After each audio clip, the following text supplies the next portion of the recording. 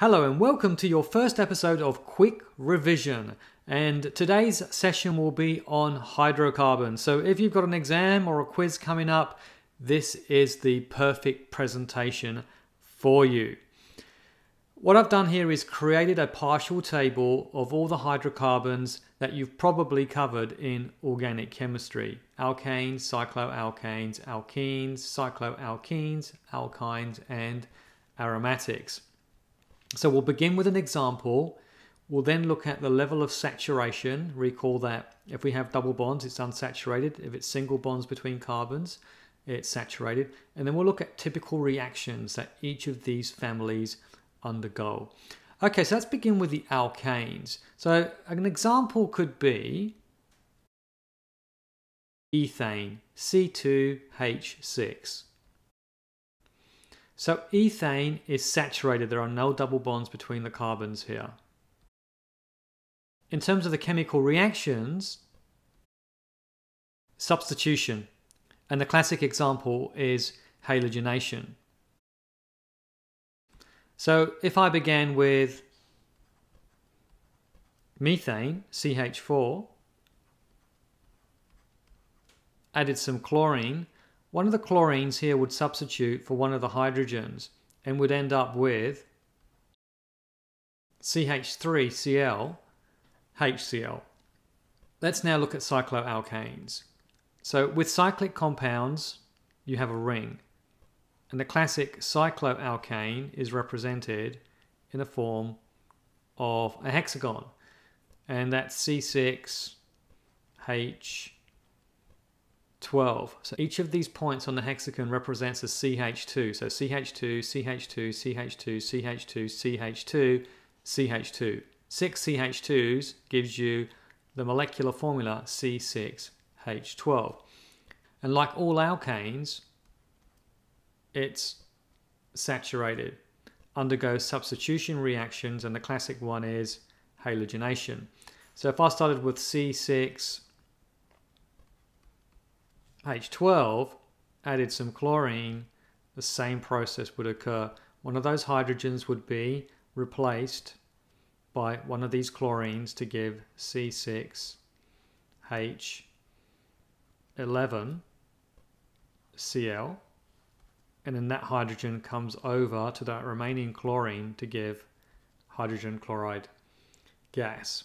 Okay, let's have a look at alkenes. The classic alkene is ethene, and you could see dramatically that it's very different to any of the other molecules that we've drawn. It's got a double bond between the carbons. Its molecular formula is C2H4, and it's unsaturated because of that double bond.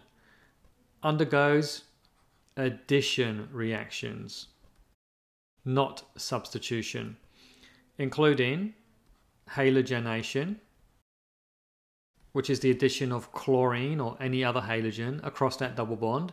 When chlorine attaches to that double bond, we now end up with a chlorine here and a chlorine here while that double bond breaks. So in effect, we end up with C2H4Cl2. Another important one is hydro genation, which is the addition of hydrogen, those two hydrogen atoms would add across that double bond. The bond would break and you'd end up with C2H6. Another one is hydration. And in hydration reactions, we're adding water. We're adding water across that double bond.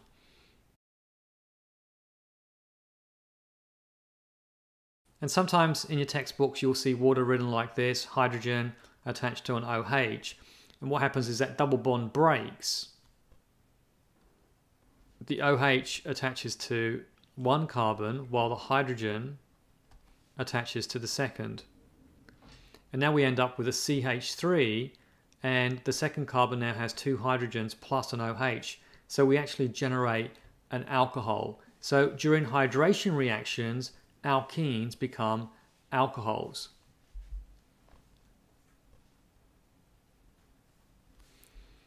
The other really important one that you need to be aware of is polymerization. So we had many, many, many molecules of ethene under high pressure and a catalyst. The bond would break and these molecules would basically attach to each other, creating a very, very long polymer chain that we know as plastic. So these are the four most common that you may get in a quiz or an exam. However, though, there is a fifth, and I should point this out, and that's called hydrohalogenation.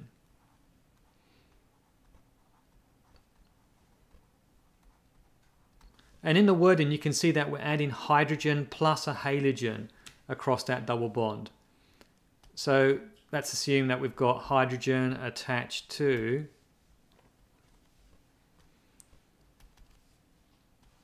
bromine. Again, that double bond would break. The hydrogen would attach to one carbon and the bromine would attach to the other carbon. So we end up with CH3 attached to a carbon that's bonded to two hydrogens plus a bromine. Now, cycloalkenes look a little bit like cycloalkanes because, of course, they're cyclic. The biggest difference, of course, is because they're an alkene, they've got a double bond. So there's the double bond represented here. So if we started from the top, that would represent a CH2. That would be CH, CH, CH2, CH2, CH2. So C6, H10. Whenever we have a double bond, the number of carbons relative to the alkane goes down by 2. So here's the alkane version, here's the alkene version of a 6 carbon cyclic compound and you could see quite clearly the number of hydrogens is less by a unit of 2 in the alkenes compared to the alkanes. And the same thing applies to the open chain structures. So if I was looking at, say, ethane versus ethene, again, you can see that there's two less hydrogens on the alkene compared to the alkane. In terms of unsaturation, well, we've got a double bond, so it's unsaturated. Again, it's addition reactions. So all these that we see here So all the reactions that the alkenes undergo, the cycloalkenes undergo as well. Okay, let's now have a look at alkynes. Carbon, triple bond, hydrogen either side. Formula, well we've got two carbons and we've got two hydrogens. So C2H2. Is it unsaturated? Yes. In fact, if we broke that triple bond and ended up with a single bond, we could potentially add another four hydrogens. So that would take us from an alkyne all the way back to an alkane.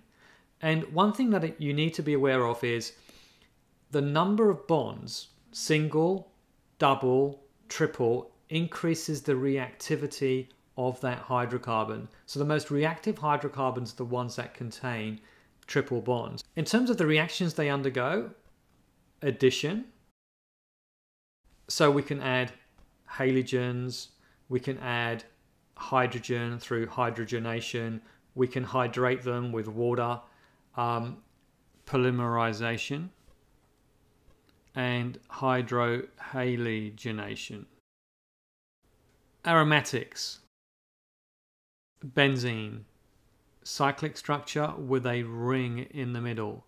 Make sure you do not confuse benzene with cyclohexane.